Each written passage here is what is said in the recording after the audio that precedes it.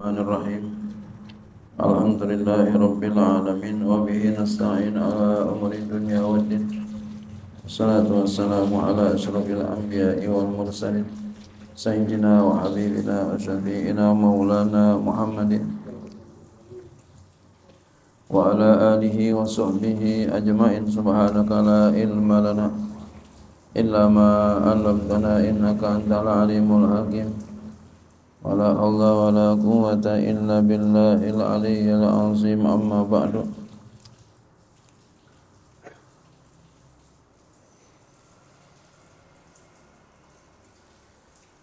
Warwa Ibnu Umar radhiyallahu anhu dan telah meriwayatkan oleh Ibnu Umar radhiyallahu anhu anna Umar bahwasanya Sayyiduna Umar ayahnya kharaja telah keluar ila bustanin ke kebun.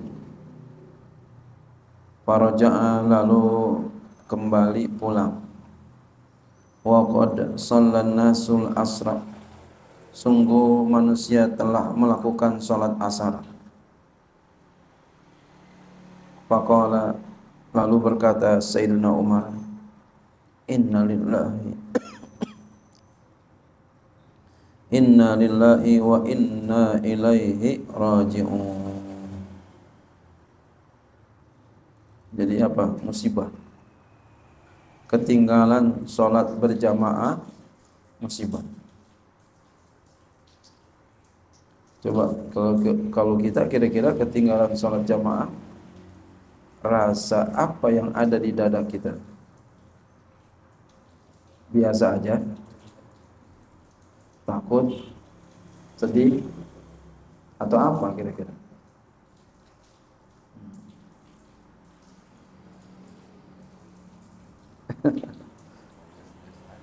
Biasa-biasa aja.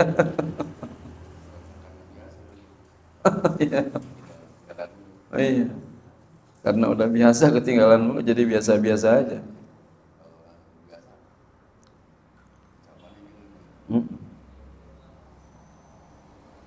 Fatatsni salatul asri fil jamaati. Luput kepadaku salat asar berjamaah. Pulang dari kebun. Luput salat berjamaah. Apa kata beliau? Us'idukum. Aku angkat kamu sebagai saksi. Anna haiti alal masakini sadaqatun. Bahwa kebunku menjadi sedekah kepada orang-orang miskin. Masya Allah. Kebunnya yang dia tengokin penyebab dia ketinggalan sholat jamaah, kebunnya disedekain sama orang miskin. Masya Allah. Saksinya orang yang di sekitar itu. Belum ada kayak begini orang nih. Nggak ada. Ya Allah, ya Rasulullah. Hmm. Ini paling kagak kita usahakan jangan sampai kagak sholat jamaah. Kalau kita udah punya istri, paling kagak sama istri kita sholat jamaah. Berdua sama istri. Yang penting jangan kagak sholat jamaah. Ain yakuna kafaratan lima. Kenapa beliau lakukan itu? Supaya ada itu menjadi penghapus kafarat bagi apa yang ia telah sia-siakan. Masya Allah. Jadi jangan tinggalin sholat jamaah.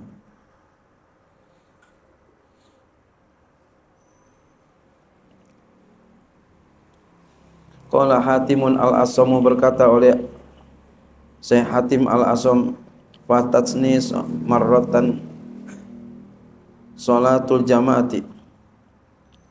Telah luput kepadaku sekali salat jamaah. Fa'azani Abu Ishaq. Padahal baru sekali doang. Lalu mentakziahkan kepadaku oleh Abu Ishaq al-Bukhari. Wahdahu sendirian. Jadi Syekh Hatim Al-Asam kagak sholat jamaah. Lalu di takziahkan oleh Abu Ishaq Al-Bukhari. Sendirian beliau datang ke rumah Syekh Hatim Al-Asam. Syekh kenapa enggak datang sholat jamaah? Padahal baru sekali doang enggak datang ya? Masya Allah. Langsung di ngelawatin ngelawatin takziah. Jadi ngelawatin bukan orang mati doang. Musibah. Apa kata beliau? Walau mata li waladun lagozani la azzani aksaru min asharati alafi nafsin. Walau mata jikalau mati li bagiku waladun oleh satu anak jikalau aku punya anak satu doang mati. La azani niscaya mentakziakan aku aksaru lebih min asyarati alafi nafsin dari sepuluh ribu orang. Masya Allah sepuluh ribu jiwa sepuluh ribu orang.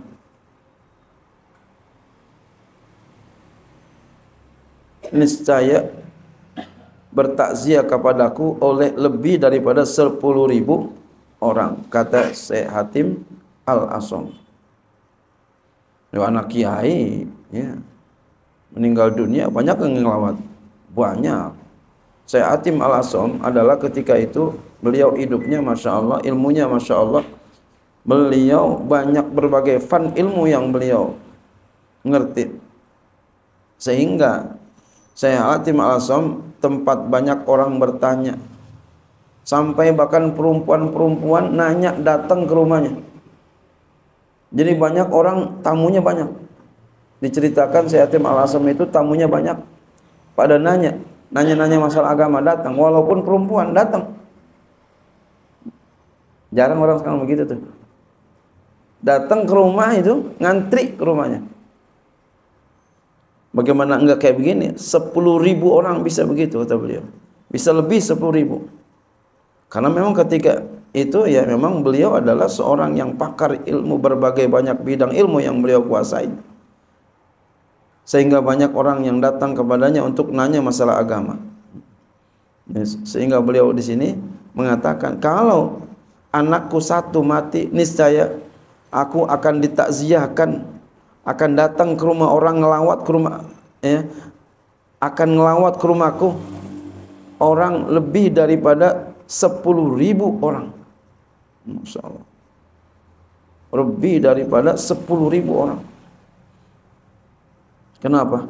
lianna musibat dini karena musibah agama indan nasi di sisi manusia ahwanu. Lebih ringan min musibati dunia daripada musibah dunia. Jadi apa tadi itu? Kagak sholat jamaah yang datang cuma satu orang. Kalau meninggal dunia anaknya satu, yang datang yang datang lebih daripada sepuluh ribu, masya Allah.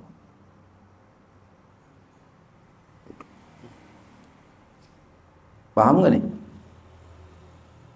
Padahal tadi yang pertama kagak datang sholat jamaah namanya musibah akhirat. Mati musibah dunia. Harusnya banyakkan yang datang musibah akhirat. Ini malah dunia. Ini. Tapi bukan berarti kalau begitu udah kalau mati jangan datengin. Ya bukan begitu. Bukan begitu pengertiannya. Ini maksudnya beliau ingin menekankan bahwasannya orang kagak musim, orang kagak sholat berjamaah itu musibah. Musibahnya musibah akhirat. Dan kebanyakan umumnya orang ya musibah agama itu dianggap ringan. Nah, dikatakan di sini, "Li'anna musibat ad-dini 'indan nas ahwanu min musibati dunya." Kenapa bisa kayak begitu? Musibah akhirat yang datang satu. Musibah dunia bisa lebih daripada 10 ribu orang. Karena bahwa musibah agama di sisi manusia itu lebih ringan daripada musibah dunia mandangnya begitu padahal salah wa anna dan bahwasanya lau mata lil am abna'u jami'an. Jika lau mati bagiku anak-anak ya seluruhnya lakana saya itu ahwana lebih ringan alaya atasku min fawati hadhi salati fil jamaati daripada luput ini salat berjamaah. Masya Allah ya, kata beliau padahal bahwasanya kalau mati bagiku anak-anak semuanya mati anakku semuanya mati ini saya itu lebih ringan atasku daripada luput salat berjamaah Masya Allah Kata beliau, kata Syekh Hatim al lebih ringanan aman anakku mati semua daripada kagak sholat jamaah. Pikir itu. Benar nggak tuh omongan?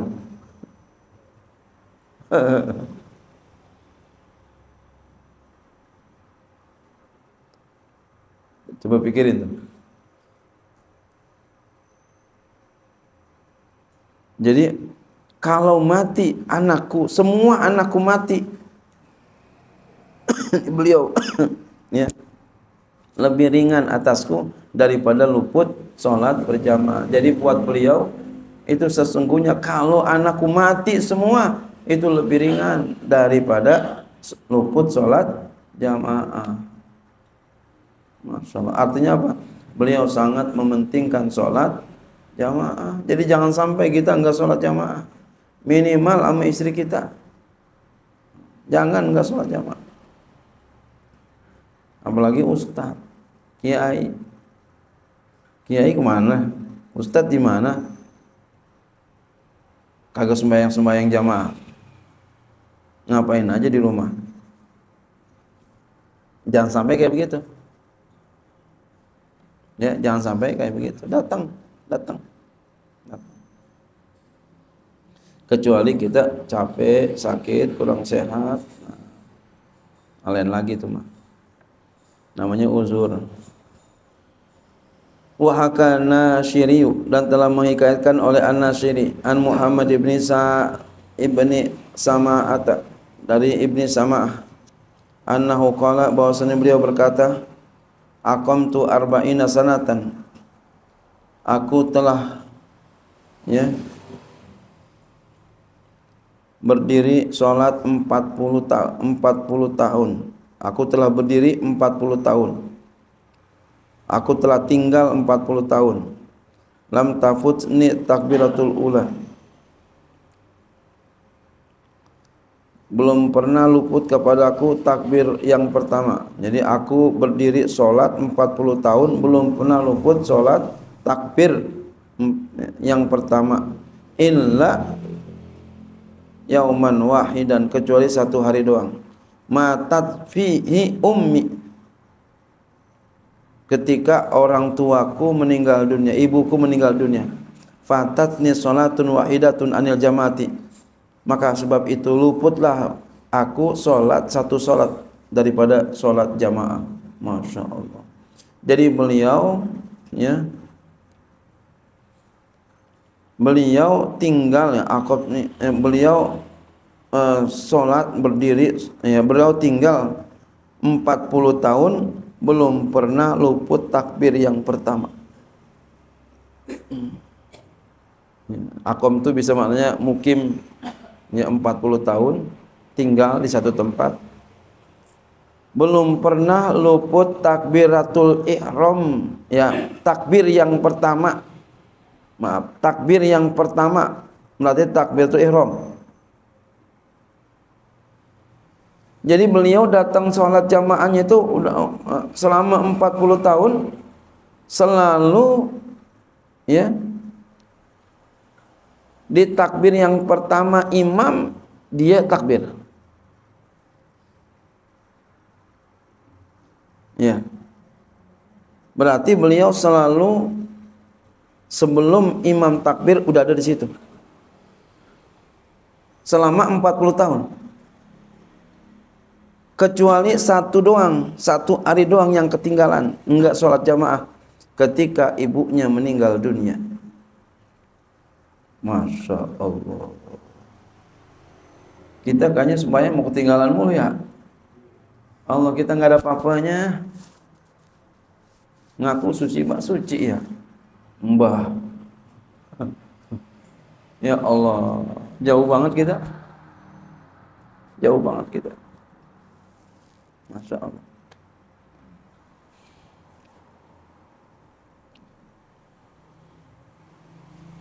Fakumtu lalu aku berdiri.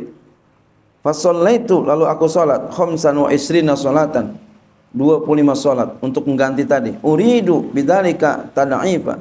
Aku kehendaki dengan demikian itu 25 25 tadi. Sallaitu khamsan uh, wa isrina. Aku kehendaki dengan demikian itu 25 tad'ifa untuk melipat gandakan ganti yang tadi kagak solat berjamaah. Ni aini lalu aku ketiduran. Memenangi akan daku oleh mataku. Ya mengalahkan akan daku oleh mataku. Bahasa kita ketiduran. Fa'atani atin lalu ada orang yang datang kepadaku faqala lalu ia berkata ya Muhammadu. Wahai Muhammad.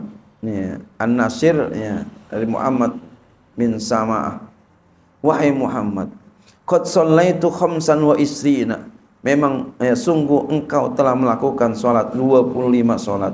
Walakin tapi kaifa bitakminil malaikati? Bagaimana dengan aminnya malaikat? Masya Allah jadi emang benar ente mau ganti ya salat jamaah kelewatan keluputan dengan 25 salat Memang ente bisa ganti 25, tapi ente nggak bisa ganti bareng amin sama malaikat. Jadi orang kalau berjamaah itu aminnya bareng sama imam, makmum, imam bareng amin, itu malaikat amin juga di situ. Jadi kita kalau sholat berjamaah, amin kita bareng sama malaikat. Kalau malaikat yang aminin kabul apa kagak? Kabul semua tuh. Kabul. Doa-doa semua kabul semuanya. Ihdinas siratal mustaqim. Siratal ladzina an'amta 'alaihim ghairil maghdubi 'alaihim waladdallin. Kita minta petunjuk sama Allah jalan yang lurus, bukan jalan orang-orang yang tersesat. Kita amin, malaikat, imam amin, malaikat aminin. Kalau malaikat aminin, kira-kira ijabah apa enggak doa kita? Ijabah doa. Jadi bayangin tuh kalau kita lagi semayang jamaah, itu malaikat ikut amin. Hanya orang yang selalu sholat jamaah terus nggak pernah luput insya Allah min ahlil khair. Insya Allah min ahlil khair. Insya Allah min ahlil khair. Ya. Alhamdulillah saya nggak pernah luput sholat berjamaah kecuali lagi istri sakit kemarin. Kagak ada nungguin habis Istri udah kita udah nangis aja udah. Jadi jangan sampai kita enggak sholat. Selalu sholat jamaah. Jangan minimal sama bini.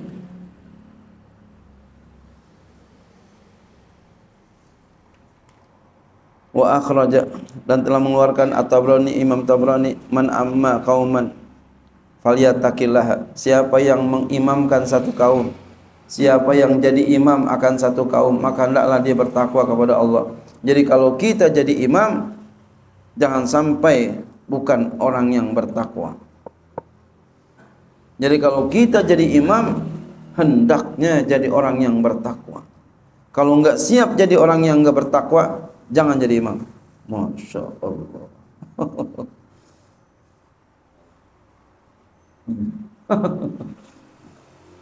Berat ya. Iya, tapi jangan jangan sampai kagak ada yang jadi imam ya.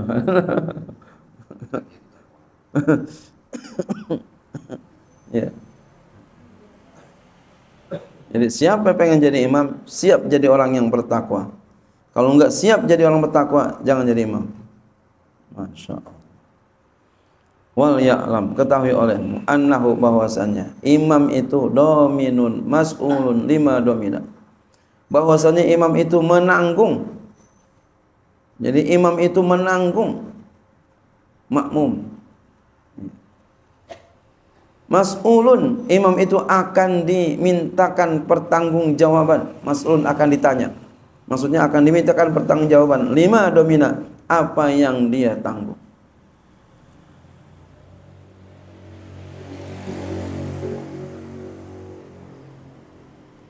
Dia akan nanggung tuh. Jadi imam tuh bakal nanggung tuh. Dia nanti akan ditanya, semuanya akan ditanya. Ini kagak jadi imam, marah gitu ya. Kalau marah berarti lucu ini. Harus ini sedih jadi imam. Kalau enggak enggak dia enggak dijadiin jadi imam, alhamdulillah. Enggak dijadiin imam, alhamdulillah. Harusnya begitu. Bukannya marah. Banyak bukan ada.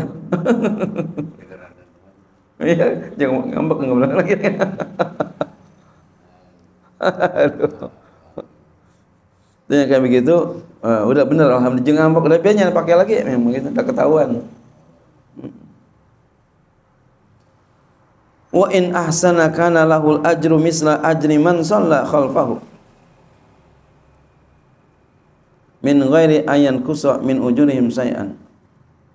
Dan jika dia itu bagus, ada baginya pahala seperti pahala orang yang salat di belakangnya dari tanpa kurang daripada pahala mereka sedikit pun. Masya Allah. Jika dia bagus, imamnya benar bagus, maka dia mendapati pahala. Seperti pahala orang yang sholat di belakangnya. Masya Allah. Jadi imam, itu kalau dia bagus jadi imamnya, dia dapat pahala. Seperti pahala makmum. Jadi makmum dapat pahala, ya.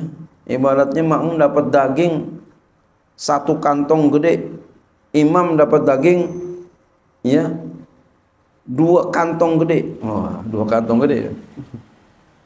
Pertama pahala jadi imam, yang kedua tuh bagian dia dapatnya dua tadi, nanggung si makmum. Masya Allah. Kalau dia benar. Jadi jangan main-main jadi imam. Siap jadi orang benar. Jadi kalau udah jadi imam, siap jadi orang benar.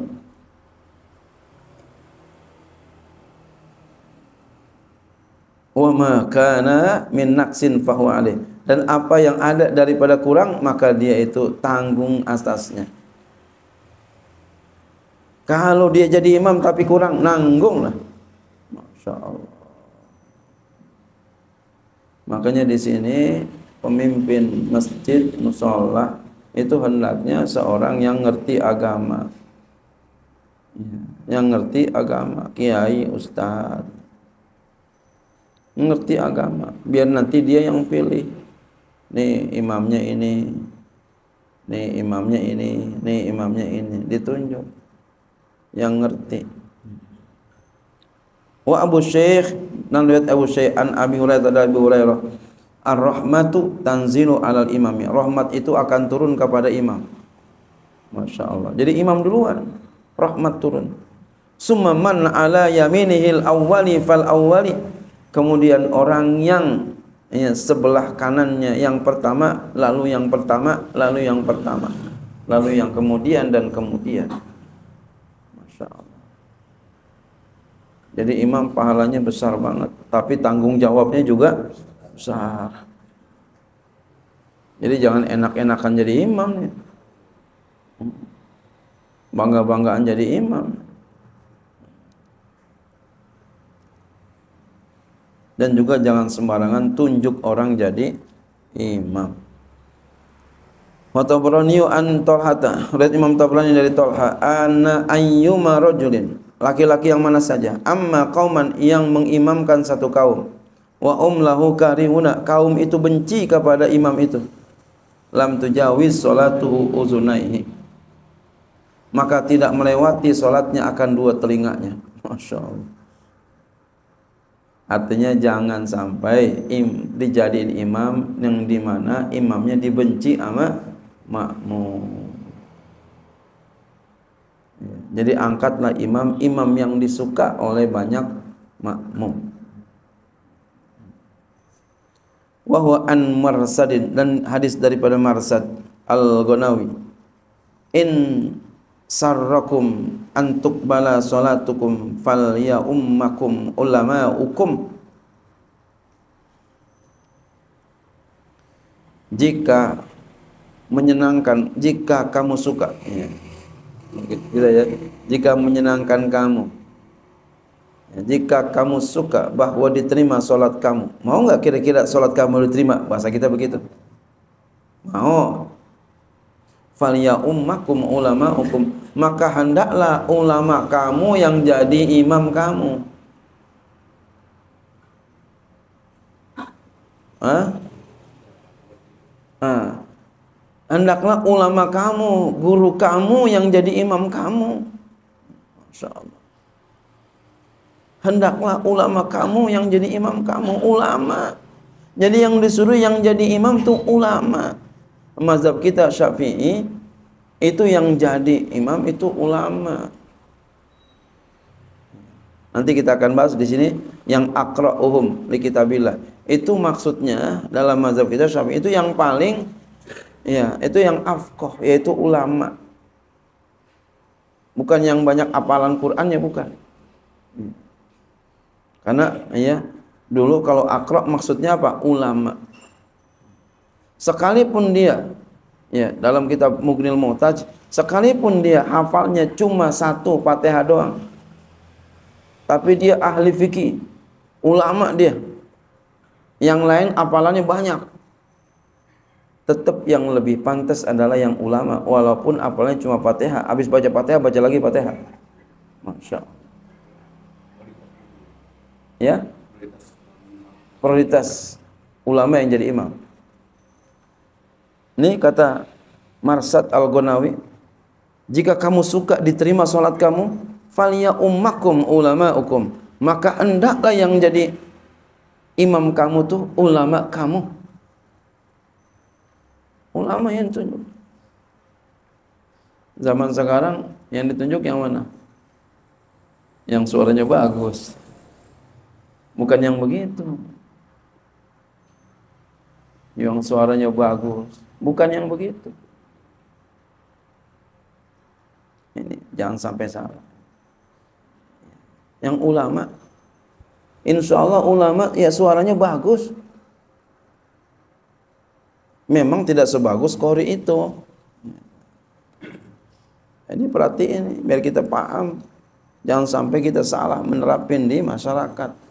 Ulama yang jadi imam ulama. Iya. Jangan sampai enggak. Kalau pengen mau diterima, bahasa kita begitu nih. Kalau mau diterima, mau nggak diterima? Enggak, ya serah. kalau mau terima, ulama kamu.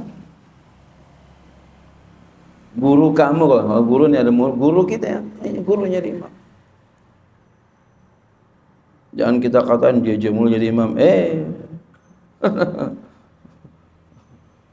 ente yang mau jadi imam.